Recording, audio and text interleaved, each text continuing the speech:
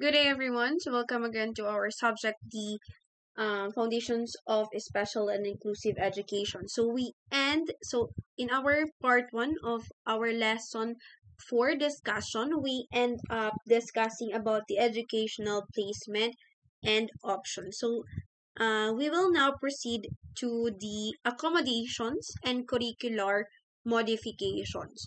So, students with disabilities and additional needs who are studying in an inclusive general education classroom may need accommodations in the form of instructional support and other supplementary services. So, others who need more intensive support are provided with curricular modifications. So, number one is what we call the accommodations. So, in accommodations, so based on the definition, these are the supports provided to students to help gain full access to class content and instruction without altering the curriculum standards and competencies expected and to demonstrate accurately what they know. So, when accommodations are provided in a general education classroom for children with disabilities, barriers are removed from assessing education. So as a result, children can work around the effect of their disability. So for example, um, the altering instruments, the toys or materials, changing the room during specific activities, providing time extensions or allowances for tests and tasks, and changing response formats in worksheets. So accommodations may be provided both during assessment and instruction depending on the learning profile and needs of a child and may vary in terms of presentations and response uh, settings and scheduling. So, in presentation accommodations, children with disabilities may need specialized presentation formats, especially those with sensory impairments, so they can learn the same content alongside typically developing peers. So, we have here the example or a table that presents the examples of accommodations in presentations. So, so, for example, in learning needs, so we have the visual support. So, the example of accommodations is minimize visual distraction, visual cues, so for example, the, uh, the use of color coded or the highlighting use of larger print materials um you may you may consider the font size or the illustrations and the use of sign language and videos with closed captioning. Next is the auditory and comprehension support. So you must read aloud by a peer. So audiobooks is also the effective way. Uh, digital text that reads aloud or give definition of words. Text to speech software advanced organizer or story guide, and highlighting or color coding. Next is listening and focusing. So uh, the example is the advanced organizer, the explicit verbal or visual cues, the physical prompts, repeat, clarify directions, and important information. So note taking, support, and copy of directions. Um, next is, um, aside from presentation accommodations, we have also what we call the response accommodations. So, in response accommodation, it allows students with disabilities and additional needs a variety of ways to complete assignments, the written tests, the performance tasks, and other activities. So, providing such instructional and assessment supports allows them to um, access the same learning experience as other students in general education classroom. So for example, here in our table, we have the learning needs. In writing difficulty, for example, is error in spacing, the visual perceptual or spatial orientation, and illegible handwriting. So the examples of accommodations that we might use is different size or diameter of pencil, marker, or crayon um, pencil or pen grip, the triangular or pear shape.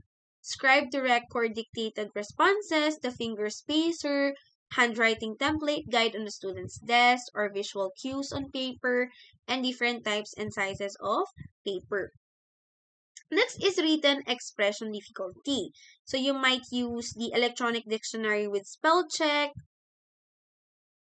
online dictionary, the word processor with spelling and grammar check, writing cue cards, list of sight words, the writing templated outlines, and graphic organizers. Next is in my math difficulty. So you might use the calculator, the concrete models and manipulatives, the visual representation, the problem solving guides, and the graphic organizers, and special paper graphing paper for computation. So next is aside from response accommodation, so we have the setting accommodations. So changes in the location or conditions of the educational setting or environment may be necessary for students who need support in terms of behavior, attention, and organization of space and materials. So, accommodation in a settings may allow a child who gets easily distracted to work in quiet corner of the classroom in his, in his own study carrel so that he will not be sidetracked by environmental um, stimuli. So, on a child who is still unable to read fluently may be allowed to take a silent reading comprehension test in another room with a supervising adult just so she could hear herself read aloud, which helps her better understand the story. So aside from that is we have the scheduling accommodations. So changing time allotment, schedule of tasks and assessments, and management of time are some types of scheduling accommodations. And um, students with low slower ability in processing information and directions well as with focusing issues may need this type of accommodation. So some examples of accommodation that can modify scheduling are for example is extending time for assignments and assessments, um, providing uh, breaks in between tasks, and providing a visual schedule or a checklist of individual responsibilities. Um, aside from that, is we have providing predictable routines and procedures, and providing an electronic device with alarms and cues. So we have also what we call the modifications. So in modification, um, we have the curriculum modification. So these are provided for students with significant or severe disabilities where content expectations are altered and the performance outcomes are changed in relation to what are expected of typically developing students of the same age. So when instruction and assessment are modified, a student with disability is still given the right to access the same learning opportunities uh, as other students in the general education class. But the tasks are more respectful and appropriate to the student's abilities and needs. So the curricular modification include changes in instructional level, content and performance criteria, as well as the breadth and depth of content learning learned by students. So students with disabilities or additional needs may be given more, less, or different content and resources materials altogether. So they may also be um, assessed using different standards that are more appropriate to the student's needs and abilities, so such as being provided with fewer objectives, shorter lessons, or a smaller number of vocabulary words to learn. So we have also under the modification, we have the educational team. So they are responsible for instructional planning, may indicate curricular modifications in the student's individual education plan or the IEP. So such modifications are needed so that the students also have access to the general education curriculum. So let us have um, a look at Carl's learning profile. So does he need accommodations or curricular modifications? So um, these are the texts that presents the learning supports that Carl receives in the context of his reading and spelling difficulties. So, centered given the significant delays in Carl's reading and spelling performance, the team decided to provide him with different types of accommodation that adjusted the presentation of what is learned, how he responds, as well as the timing when tests are given. Uh, Ms. Santos prepared his reading materials and worksheets using a bigger font size and more space in between lines to allow him to point to to words as he reads and to use a ruler so he would not lose his place while reading. In tests that require extensive writing, he is still made to write as much as he could, and after which he is asked to either give a verbal explanation to support what he has written or he dictates his oral responses to scribe. So the teacher now considers the oral exam as a respectful accommodation as Carl is still be able to access the same learning standards and opportunities despite his difficulties. So number five is we have the parent involvement. So another, this is the uh, other component of an inclusive and special education. So it has long been established that parent involvement in education, planning, and management of children with disabilities and additional needs is essential as they are the primary caregivers and have direct influence on their children. So the parent involvement is anchored on the Brenner's human ecological um, theory. So this states that there are five environmental systems that comprise a child's social context. So for the purposes of this um, discussion, the microsystem. So in microsystem, as you can see here, this is where the child and his her and his or her family belong along with peers, schools, and the immediate community, just like the neighborhood. So within these uh, microsystems, the child has direct interactions with the parents, uh, with the teachers, with the peers, or um, with the others. While in the mesosystem, um, this refers to the linkages or the relationship between the um, microsystem. So as uh, between the microsystems, such as the connections between the family experiences and school experiences and between family and peers. So the division of Early Childhood of the Council Exceptional Children, or the DEC, espouse the use of family centered practices in the assessment and instruction of young children. So, um, we have here the principles of family centered model. So, number one is honors the family choice by changing the power relationship between the professional and families abandons a pathology orientation and adopts a strengths orientation, and where the entire family becomes the unit of support and not just the child with a disability and the child's mother. So in this way, the whole family is provided support, capitalizing on the child and family members' strengths and resources, not on their deficits and needs. So teachers and administrators may also be guided by these principles when communicating and collaborating with parents and families of students with disabilities.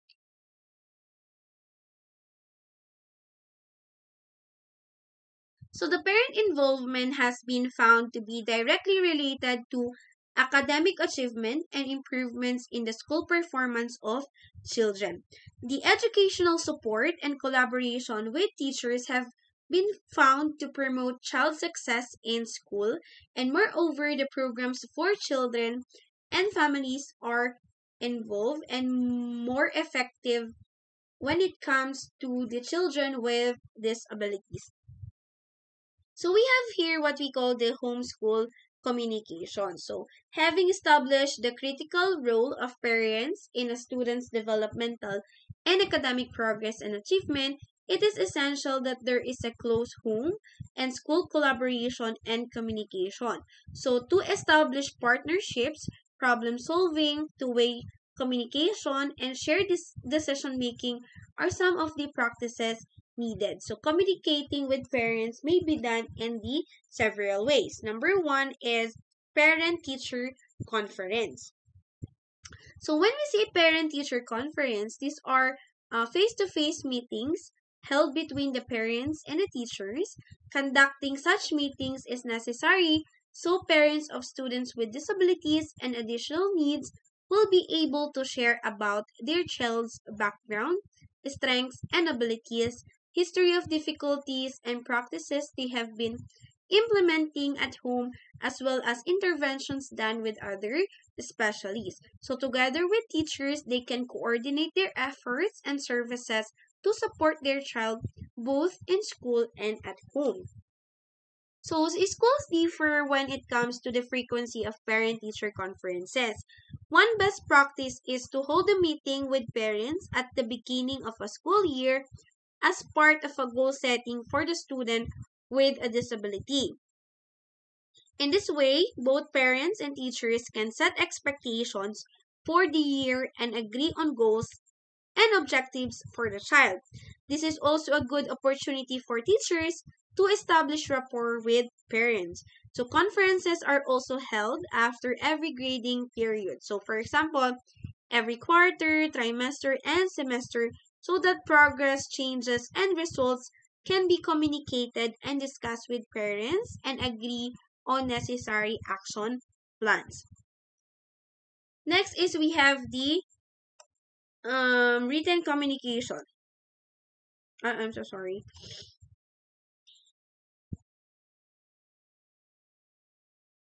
The written communication. So the homeschool communication may also be conducted through written messages. So such as the use of homeschool communication notebook where teachers and parents write homework assignments so the students' behavior in the classroom as well as progress on program goals. So a written communication may be time consuming, but some parents prefer this form of collaboration as the messages are documented and they can they can provide a copy to a developmental specialist when needed. Another way is the digital communication. So with the influx of mob mobile devices, many parents and families are more able to communicate through electronic and digital means such as email, text messages, and social network messaging systems. So, a study found that parents and teachers perceive technology as an effective tool to promote parent involvement and thus value its use for communication. So, because it is instant and real time, parents and teachers are immediately able to receive messages and updates about the student. So, however, drawbacks can also occur, such as when both parties are not mindful of parameters in communication. So, it is necessary that parties agree on certain boundaries in order to be respectful of everyone's time and personal space. Next is the homeschool contracts. So a homeschool contract contains an agreement between the teachers and parents regarding behavioral and or academic goals for a student with disability. So just like any formal contract, this is written agreement bet between the teachers, parents, and um, parents, teachers, and the students. So on specific objectives and corresponding reinforcement or rewards when they are met. So one example of the homeschool contract is the daily report card. So this is an individualized intervention used in school that is anchored on the behavioral principles of operant conditioning. So the card indicates specific behaviors targeted for a child with disability that are framed as positive statements and targets for improvements so the use of daily report card has been found to be beneficial in helping a child with attention deficit hyperactivity disorder in school and in promoting daily collaboration between teachers and parents. So um, we will talk about that further when we reach the uh, lesson 6 or the chapter 6. So we have also here the other ways to involve parents. So we all know that parents also have strengths, the abilities, and the intuitive knowledge and the commitment to help their own child. So they become the advocates of their own children. So to maximize their involvement, schools provide other opportunities such as parent education and training or workshops and parent support groups. So we have here parent education. So this may take the form of providing seminars and workshops to parents to equip them with a better understanding of the ch- their child's disability and accompanying strengths, uniqueness, as well as specific techniques and strategies that they can practice at home. So such training sessions can be for a few hours done on a quarterly basis or for a regular period, such as every Saturday, depending on the needs of the parents and the training capacity of the school. In this way, parents become educated in evidence based approaches so that there will be continuity in the practices implemented between the home and the school. Next is the parent support group. So these are also helpful as parents are able to ask other parents about tips and techniques to work with their children. So parents should be empowered so that they can participate in planning and organizing parent support groups. So through such groups, parents can draw support from one another during meetings as they share techniques and strategies, even frustrations and successes about their child. So in summary, um, this lesson or this chapter presented the different components of the inclusive and special education, which include the following. So we have the, we discussed the referral, the assessment, the placement, and accommodation. We also include the curricular modification, and lastly is the parent involvement. So across these components, so a team approach is highly recommended where each member, the child, the parents, the gen general education teacher, or the special education teacher, the therapist, and other specialists coordinate and collaborate in planning and making decisions for the child with these abilities. So that's all for the chapter 4 or, or uh, this is all about the um, chapter 4 and this is the part 2 of the chapter 4. So for your performance activity, answer the following questions. This is consists of 80 points. Put your answer in the comment section below by following the format. So you have to write your name, your block, your blocker cluster, and your answer. So this is uh, the deadline of submission is on September 18, 2023, 8 o'clock p.m only. So for your performance activity, so let us go back to the beginning of the chapter and check if you are able to meet the objectives. So this time on your own, answer the following questions by using what you have learned from this discussion. So number one is, what are the different processes as well as strategies used in the pre-referral in an inclusive school? Second question is, what are the different assessment methods and tools used to identify the strengths, the abilities, the needs, and placement of children with disabilities? Third is how are the accommodations different from modifications? And why should parents of children with disabilities be involved in the process of planning and decision making. So again, this is the end of the discussion in our chapter 4. So again, if you have any questions or clarifications, please don't hesitate to ask it in our official group chat. And before I, uh, before I end this uh, this discussion, I want to remind everyone again please don't send me personal message. If you have any concerns or questions please drop it in our official group chat.